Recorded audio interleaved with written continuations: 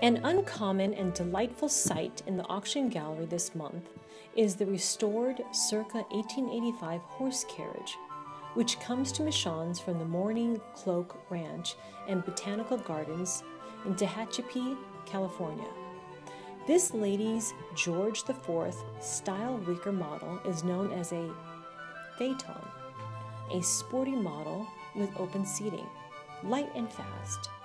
It comes with singletree and two pairs of shafts for hitching to a pony, as well as a lady's driving costume. The utterly charming parasol topped carriage with accessories is estimated at 4,000 to $9,000.